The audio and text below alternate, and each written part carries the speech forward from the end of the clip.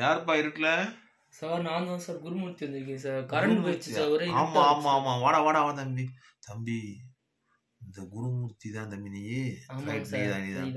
நீ அன்னைக்கு ஒன்னா பேய் கதை கேட்டல? ஆமாங்க சார். இப்பதான் ஞாபகம் வருது. சார் கரண்ட் இருக்கிற நேரத்துல பேய் கதை சொல்லி இருக்கீங்க? அப்பதான்டா பயம் பயம் அதாவது முள்ள முள்ள எடுக்கிற மாதிரி பயத்தை பயத்தால ஆக்கணும்டா சொல்லுங்க சார். ஒரு நல்ல அமாவாசை நிறைஞ்ச அமாவாசை. ஒரு காடு. சரிங்க சார். காட்டுக்குள்ள சவுண்டு வருது. அப்படியா சார்? ஆமா அப்ப வண்டி போய்கிட்டு இருக்கு. சர்றன்னு போய்கிட்டு இருக்கு. போகும்போது காடு லைட்டு ஆஃப் ஆகி அமர்ந்து ஆஃப் ஆகி அமர்ந்து. சார் ரெண்டும் ஒண்ணுதான் சார். ஆமல்ல பயத்துல எல்லாமே நடக்குது எனக்கு வந்து.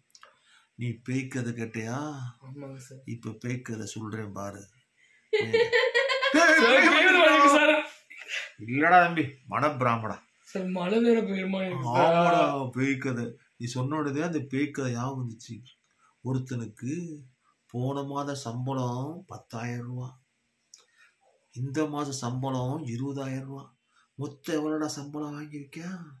அது முப்பதாயிரம் கேட்பாங்க சார்.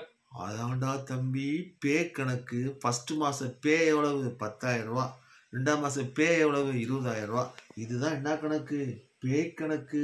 சரியா? சரி சார். சரிடா தம்பி பார்த்து போடா. இது வந்து அம்மாசை நீ கேட்கலாம். எப்படி சார் அம்மாசை